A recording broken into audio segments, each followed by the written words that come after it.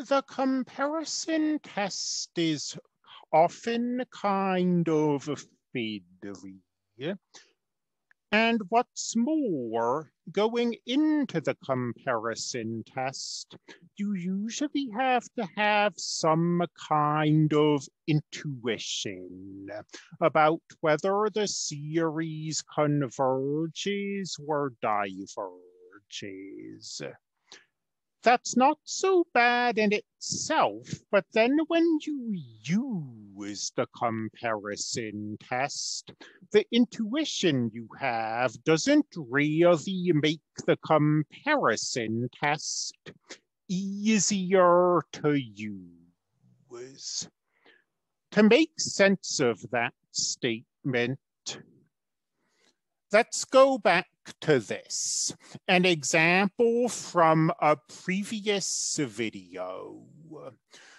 We decided before we applied the comparison test that we thought this series would diverge.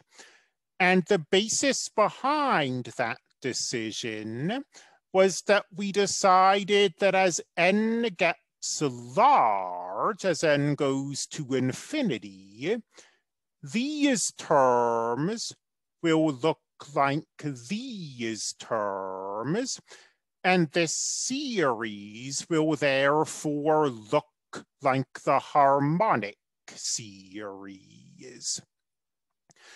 But the intuition that this series will look like the harmonic series didn't help us find a smaller divergent series.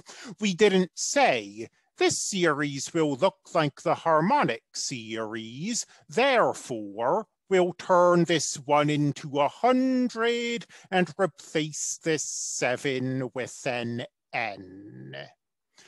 The limit comparison test has the advantage that once you've gotten this intuition down, that this looks like this, you can then just run the limit comparison test without fiddling around any further.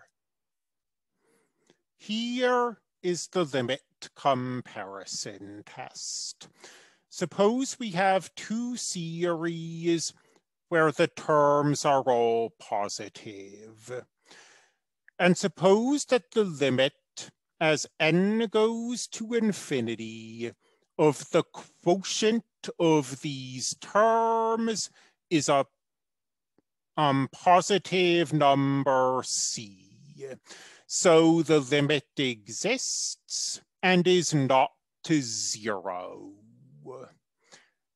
Then these series either both converge or both diverge. Why this limit?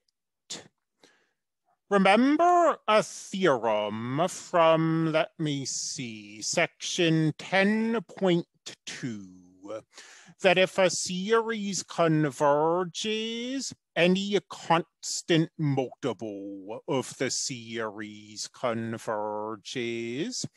And if a series diverges, any constant multiple of the series diverges.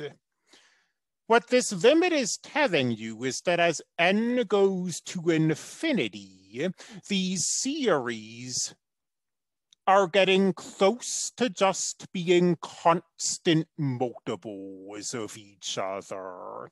The bigger n gets, the closer a sub n is to being this constant c times b sub n.